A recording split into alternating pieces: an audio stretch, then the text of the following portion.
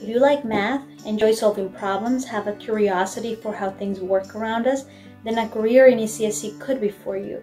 Electricity really is everywhere. Studying electrical engineering or computer systems engineering will really give you a foundation that enables you to work in most of the major technological industries that exist today. You can basically go into almost any engineering position as an electrical engineer and find a use for you. One of the things that I think is important about ECSE is developing a wide range of multidisciplinary skills and being able to understand what mechanical people are talking about even if you're an electrical engineer or understand what the software does even if you're not the programmer. My favorite experiences were the really hands-on stuff, doing labs, classes where at the end of the class you could make your own with really open-ended projects. From hardware development to computer vision and robotics uh, and being exposed to that, I narrowed down what interests me. I'm really good at math and I really wanted to keep doing math.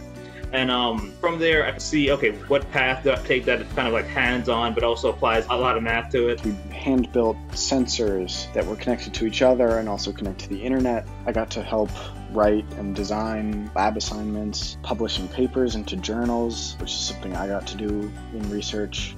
I really just had a lot of autonomy during uh, the research, so I could kind of explore and learn as I was going. And that was really fun, really got to get my hands dirty with building a robot from scratch.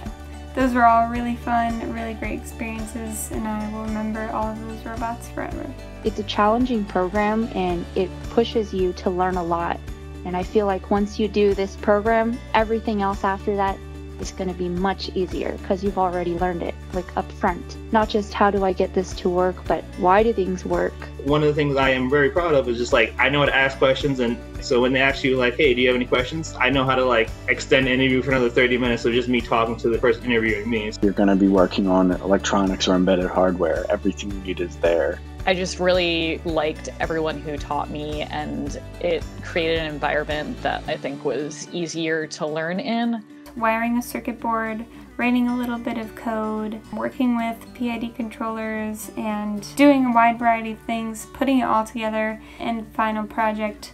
That's what really taught me the skills I needed to become the engineer that I am now.